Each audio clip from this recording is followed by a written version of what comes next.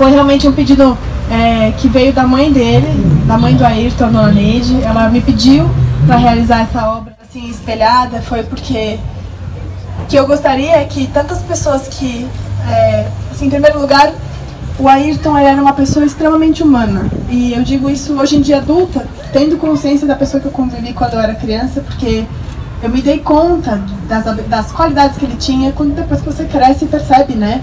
Uma, uma, qualidade diferente, que ele tinha realmente uma humanidade de olhar as pessoas no olho e não se, se colocar como diferente de ninguém e retribuir muito o amor das pessoas.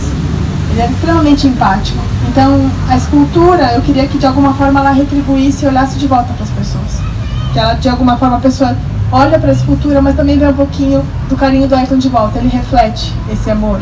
E, e outro ponto também é que as pessoas, muitas pessoas se inspiravam nele e viam nele grandes qualidades. É, muitos tinham ele como um herói e realmente é uma pessoa que representou o Brasil no mundo em primeiro lugar, que saiu das situações mais de, de maior dificuldade e superou as dificuldades em nome do Brasil, né, levando o nome do Brasil adiante. Ele foi um brasileiro que trouxe um lado ilustre do Brasil para o mundo todo e ensinou para gente como vale a pena ser honesto, batalhador, é, ser focado, não, de, não desistir, ser disciplinado e batalhar, né, pelos nossos sonhos.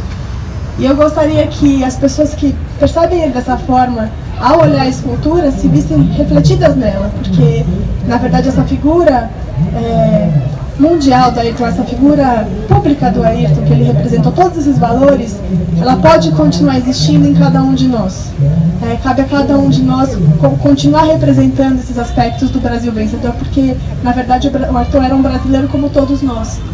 E ele pode, a gente pode como como brasileiros, como pessoas, aliás, em qualquer lugar do mundo, continuar representando esses valores que ele trouxe e saber que nós também somos tudo isso que a gente via nele. Nós também podemos ser.